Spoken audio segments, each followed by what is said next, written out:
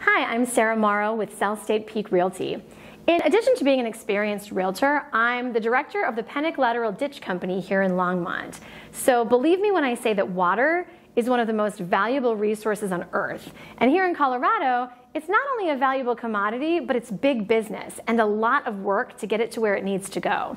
So join me and Bill Campbell, ditch rider of the Boulder and White Rock Ditch and Reservoir Company, to learn more about water shares, ditch rights, and how this timeless niche of the biz can boost your real estate portfolio and inform your next rural purchase or sale.